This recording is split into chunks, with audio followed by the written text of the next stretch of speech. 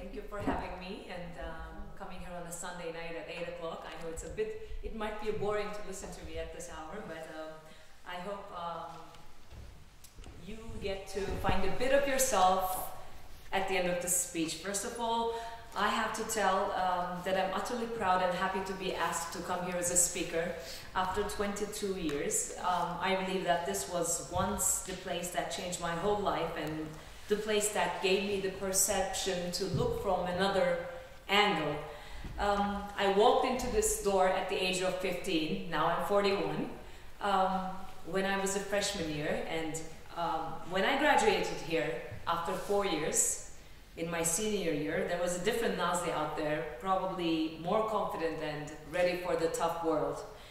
I will briefly try to tell you how my life had um, shaped up so that maybe that will give you little hints in your future life, as I have said. My interest in television popped up in my last two years at TASIS. Media was pretty popular back then, and my curious personality and eagerness to search for the truth drew me uh, more into the business. And in 1999, I started out as a correspondent on field, and then became an editor, and then manager when I um, finally ended up as an editor-in-chief and an anchor for a primetime news at the one of the four most valued national TV stations in Turkey, which is called Star TV. It's one of the four um, main and mostly watched television stations, I would say. But um, success on TV definitely is very much dependent on teamwork, as in everything else. And uh, I have to give credit to my 43 other colleagues of mine that have been working with me throughout the years. Um, and I have also another need to thank another alumni that used to go to TASIS, who's Mr. Ferit Şahenk, who have made this dream possible by establishing such a well-trusted and leading news and entertainment channel in Turkey, and my family, who let pursue my dreams come true. Um, Turkey is a country of colors. It's boiling news from all over. In the morning we wake up with the visit of Putin. In the afternoon problems with Syria and here the death of Cemal Khashoggi, as you may have heard, at night. By the end of the evening it's like local and inter international news passing by. It's a happening country, but it's also happening in nightlife. So the stories that I might tell you throughout in the last 15, 20 minutes might be a little uh, frustrating, but um, Turkey is also a very, um, let's say, colorful country. So, and also he said it has a, uh, if you ever come to Turkey, please be my guest because it has also very wildlife as well. I love politics and uh, subjects that shape the future of my country interest me. For example, we're preparing once again for a referendum to be voted. On the other hand, um, as we have been fighting with terror over the years, over the past probably 30, 40 years now, regrettably, the first stories in our news bulletin are still um, of martyrs nowadays. Turkey has a very strategic location and importance, so foreign relations, the war in Syria, the refugee problem, and many other headlines affects and interests Turkey deeply. Contrary to other countries, it has always been a challenge to keep up with the headlines in Turkey as well. And if we were to go back in time, before that I'll just um, show you maybe a footage so that you understand exactly what I do. This is a part of it, so it will play in the background while I'm talking. Um, so basically I anchor the news that every, during every weekday, and I'm also the chief of editor and this is a footage of the primetime news back in Turkey. If we were to go back in time and start from the beginning, I was definitely a sentimental, highly emotional, and a bit timid and introverted girl. My mother keeps saying that um, I cried for three days whether I saw an ambulance passing by as I wondered whether the person in the ambulance made it to the hospital and whether he was okay or not. I cried for days, she would say. I do not remember my grades being any higher than 1.25, 1.50, as uh, thinking the highest grade is 10 back in elementary school. And yet, you know, they say the hair, even the um, skin of human being change every seven years and shed its skin. So in my case, when I believe that when I hit the age of 15 and came here as a student to TASIS, uh, for four years, I think my personality and my character shed its skin as well. I look a little different, yeah, I can tell. I was a young girl, protected by her mother and father. It was important that I had a solid upbringing in terms of ethics, values, as well as empathy as well. Because empathy is putting yourself in the shoes of someone else. Uh, in between, I developed empathy to different nations and the people at TASIS. Truly, TASIS is the first color of my life, I would definitely say. It added vision, it added teamwork, it added um, grounded values. Your values are the pillars of construction, and my pillars were established here at TASIS. That's why it's very important to be here because if I'm one of the strongest persons in the media business back in my country, it's not because of the smarts or the hard work or the success. I believe it's all about having values. And guess what? Life never puts you down if you have and keep your values. You have to have priorities in life, and my country is my priority. Your values and priorities are in line with your work. If someone came to school talking about, right now, like, like me, talking about values and ethics, and I would probably say blah, blah, blah, but guess what? You will choose a friend, your friends, even your boyfriend and girlfriend later on in the future based on their values. And uh, after I was done at TASIS and I went to Emerson in Boston, I remember my I remember my favorite class was the public speaking class, and uh, it was like a huge salon full of people. And the teacher once told me, "It's like, okay, you're gonna walk in there and you're gonna talk in front of everyone." And I said, "Okay." Then I opened the door. I went in in the middle of the salon. I looked around. I said, "No, I cannot do this," and I ran back out. and then. Um, I had to practice for it. And later on, uh, after studying, working hard, after a month, I came back and uh, eventually passed the grades. I left for college. I completed my BA with honors degree in three years of time in a very hasty manner. I studied, I minored in psychology and then majored in TV production as if I predicted the future. I graduated and came back to work. It does not mean that I probably love the school years. I wouldn't say that because the following years, the, my professional life and has always been my reality and in fact my way of life. When I was a kid, I remember my mom taking me to Taksim Square. It's one of the proudest places in Turkey. Um, and then as we were walking hand to hand, when a passing bay homeless spat in my face and my mother was so worried we had to run back home and she washed me rubbing over my skin for five days. It was the last time I saw Taksim Square till I began serving as a correspondent on NTV, which is the, one of the leading news channels in Turkey back in 1999.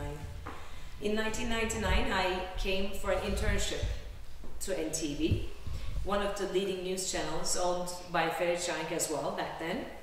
I got into the building and I asked myself, I said, what department do I really want to work? And uh, I was clueless. I knew that I wanted to work in the media business, but I didn't know what to do. Um, so I came into the company, the television company. I got into the building. Um, there was this culture and arts department. It was all about arts and artwork and lessons and exhibitions and many concerts. I said, no, this is definitely not for me. And uh, though I have to say that my photography classes with Mr. Doshman, that TASIS, has always been uh, my, one of my favorites. Then I headed for the economy department. I've never been good with numbers. And there was this whole price index, consumer price index, press meetings along with the, you know, with the breakfast, and I didn't enjoy it much. So I moved on to the sports department. I'm trying to figure out what I really, really like. And there were the soccer games and the scores, and I decided it wasn't for me. Last but lastly, uh, last but uh, not least, I entered the newsroom and I found myself in the Department of Intelligence. I believe six years I spent in the field of NTV. Uh, fed that excited, the curious, the investigative, and the researcher, adrenaline seeker part of me. It was at that time that there were protests against this typical kind of prisons in Bayrampaşa. I got a phone call in the middle of the night, I remember, it was like I was on a secret mission. Uh, I remember tiptoeing as I left the house and there were clashes and explosions around and I came back home after two days working as a correspondent. In a nutshell, I wanted to touch upon the lies which we read in the books and uh, watched in the movies. This is why you need to be in the right in the middle of what you exactly do and what you will be doing in your future life. Being a correspondent lies right in the heart of the profession, in the center of the kitchen, and you need to put some salt into the meal and maybe even roast it because you cannot share the story unless you experience it and it will not be realistic though you share it. This is why though I'm the chief editor today, I've always kept my stance as a correspondent and let alone the clashes and interrogations. Um, I tested my emotionality on probably more than 200 dead bodies that I saw, um, which were at a probably arm's length to me. Then I got engaged, this is years back, and there was this businessman called Uzeyir Garih, uh, this very important businessman in Turkey and also a family friend of my pa parents as well.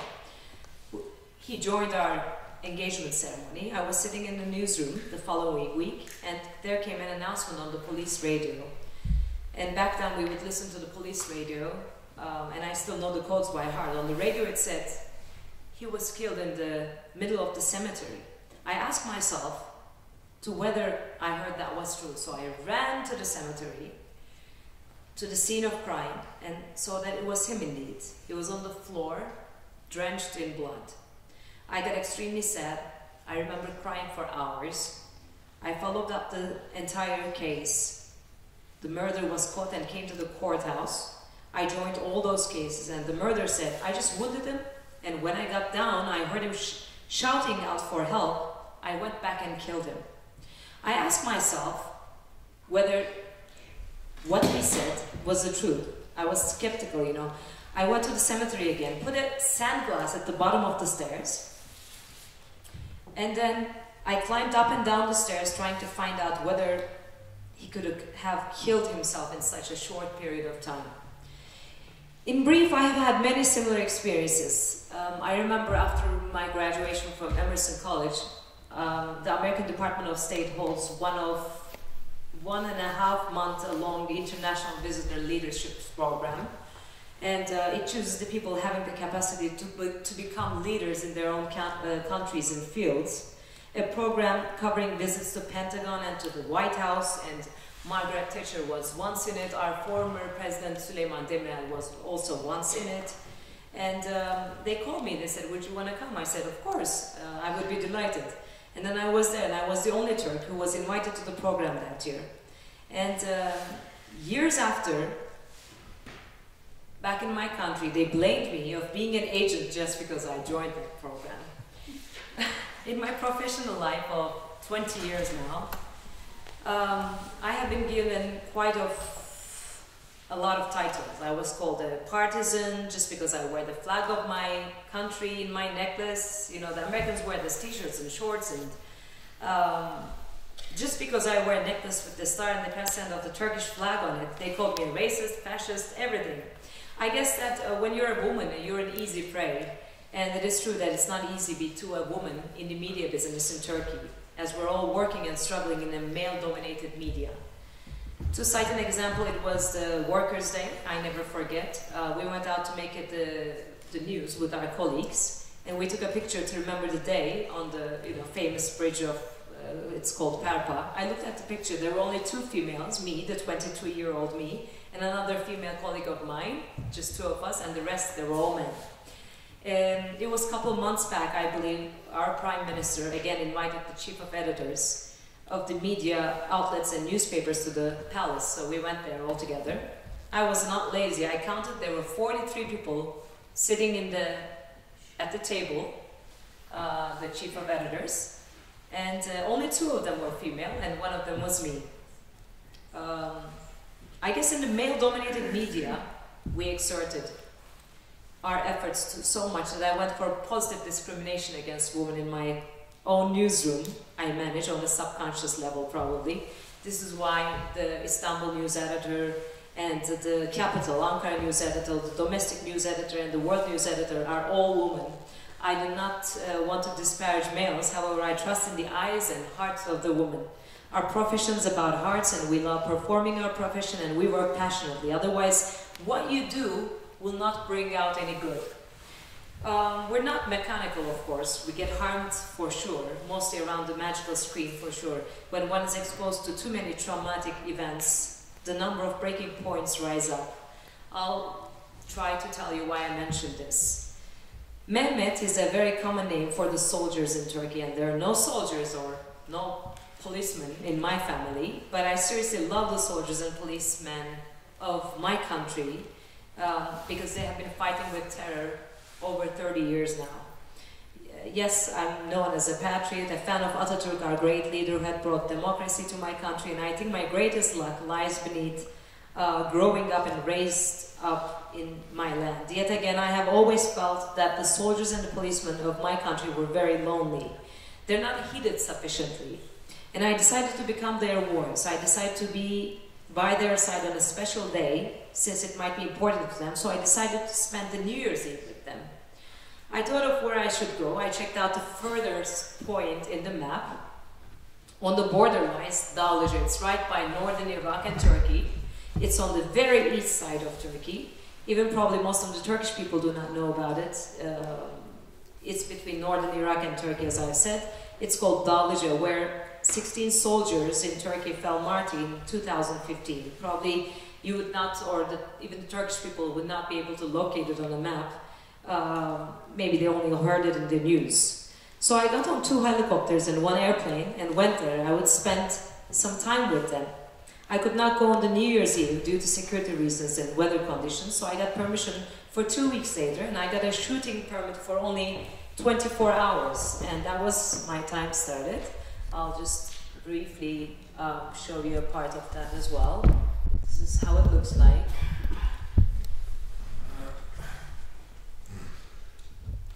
So this is exactly where I was, to give you an idea. We climbed up the Beybuta Hill, that's the mountain in other words, uh, with an altitude of 2,753 meters. It's basically in the middle of nowhere you know, you should have a life purpose to serve there. You should love your country, you should love the flag, and you should have definitely a big heart. Uh, because you cannot get anything in the monetary equivalent. People sacrifice their lives there. So I went there. Uh, they basically sleep in a place like a cave. The weather conditions are so bad uh, that it is about minus 20 degrees, freezing cold, and even even talking to a person is really difficult. Snow reaches about two meters.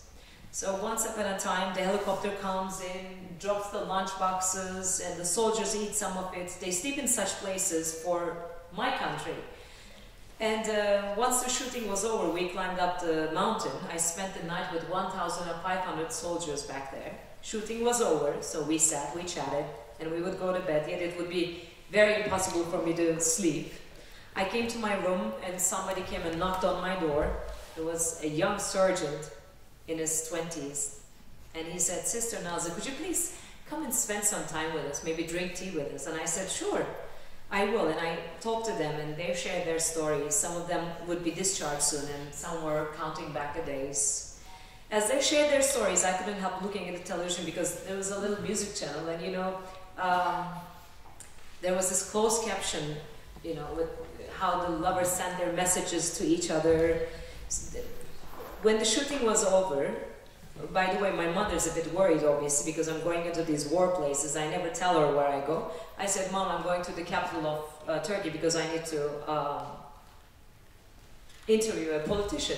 She said, on a Sunday? I said, yeah, yeah, no worries, because I had 24 hours shooting time. And uh, we landed in Banfleet. A couple of hours later, the airplane would take off and we would like uh, we would make our last preparations. We sat down to wait for the flight. In the meantime, my mom calls me from FaceTime, so I'm sitting in in between the commanders. My mom is calling. She's like, um, I just purchased these earrings. Can you see? I said, Mom, I'll, I'll call you later. I'm not in Ankara right now. I'm not in the capital right now. And she said, where are you? I said, I lied to you, I'm not in Ankara. She said, where are you? I said, I'm down in Dağlıca. It's like, where is that? Of course, she doesn't know as well. I said, it's in the east part of Turkey, close to Van, Hakkari, Yüksek, or whatever. And the shooting is over, I'm on my way back home. She said, I'm gonna kill you when you get here. and then, um, and then she said, no, you're not telling me the truth. I bet you're in Ankara, you're just making fun of me. I said, no. And then, you know, with the FaceTime, I just switched the phone to the other side, and there were seven commanders sitting right there. And she says, I pay you respect, please take care of my daughter, will you? we actually say that we would not get used to the news related to the soldiers falling martyr, and they're the people who are in real danger. Again, I went to another part, uh, which is called Nusaybin, and there was this curfew in place, and the clashes were ongoing. And we would make the shooting, and um, they would perform an operation. We were seated at around the table, and we were talking about as how they should work and how time how much time they have left in the field and what extent they clean the region from the terrorist organizations. We had our tea. We left for the shooting and they left for their work, for the operations. Uh, a couple of hours passed by and we came back and sat down again and looked at where Ali was seated because in the morning he was sitting right beside me. So I said, where's Ali? And Ali was not there. And one of his friends said, he found martyr in the building full of explosions, improvised explosive device, two hours ago. I said, how come Ali found martyr?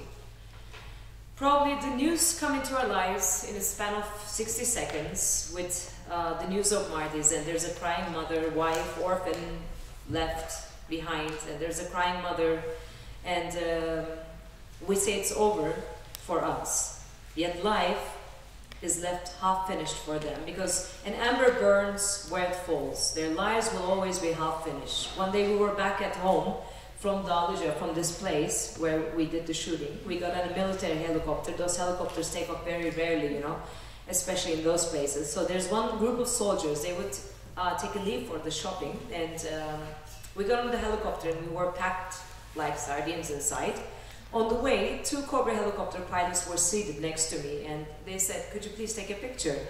Um, I said, sure. And then he said, but please make a selfie with your own hand. I said, okay.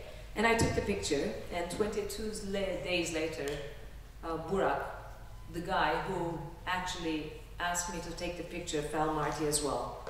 We always gather pain, and one always pays the price. I've been put on various trials, including the, wise, uh, the ones related with ISIS and with PKK terrorist organizations. And I still stand trials today. I've been faced with death threats, parliamentary investigations, insults, threats.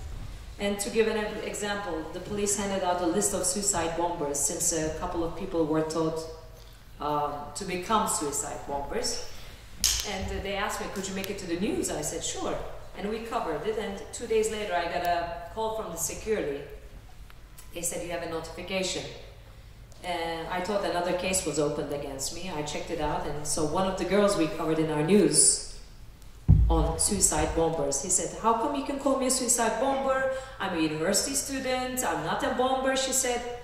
Um, so I brought testimonies eventually. I went back and forth to the courthouse. Some time passed by, and two days later, no, not two years later, a clash in front of the police station in Istanbul, and one police fell and there were two women lying dead on the floor, and there were bombs connected to these women, uh, and with the, these, these big guns, Kalashnikovs in their hands, and they were the dead terrorists, and it was one of the girls who actually opened the case against me two years prior to the event um, I was automatically acquitted. Um, did the payback actually outstrip the disadvantages? I never knew the answer. However, I wanted to make a difference and wanted to wake up with the sleepers in the established order. And um, I did it all with love and passion. Cases and investigations and life threats, as you might imagine, my mother says, um, enough of it, quit the job. Are you going to save the world? She says. No, the power I hold would not be sufficient to save the world. Yet I thought I could have the power to change things a bit from the armchair that I'm seated in. I've always believed that a different Turkey would emerge if we all swept in front of our door. Always, maybe, I don't know, own big fields and big buildings that will be, um, that I will be leaving to my daughter later on. Now she's 10 years old. But at least she will have a mother who has tried to change things the roads at some, at some point, but it will end for all of us, obviously. But um, what's important is how many lives that you have touched upon. Technology, artificial, uh, artificial intelligence will keep on, but values will never change. This means that you know what is right and wrong for you. And uh, you do not care about what the other says. In my job, for example, one day I'm together with the president of the country, the other day with the, another important leader or a businessman or a mayor. I started looking at people, not like identities. So don't make a big deal out of people. After all, we're all humans and we all go and pee. so try to make fun with your life and enjoy every minute and don't let somebody be a priority when you're all to, to them is an option. It is our choice of how we use our time. Life and time are the best two teachers, I believe. And uh, life teaches us to make good use of time, and time teaches us the value of time, as William Shakespeare said. Um, time is very slow, those who want, very fast for those who are scared, very long for those who are sad, and very short for those who celebrate. But for those who love, time is eternal. And um, as you're sitting in your chairs and listening to what we're saying, I want you to keep in mind that you're extremely lucky to be a part of the coolest high school ever, uh, which you will real realize probably as you move on in life. The friends you make here from all around the world will always come across your life, and uh, that they will be the most special ones.